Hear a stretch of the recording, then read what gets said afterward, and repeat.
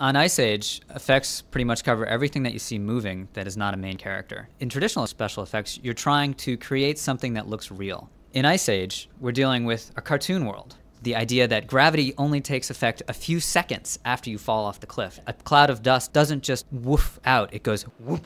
And because of that, the process that we went through to develop the effects was to take a basic physical model and have it emote the feeling of the shot rather than just what it would really look like in real life.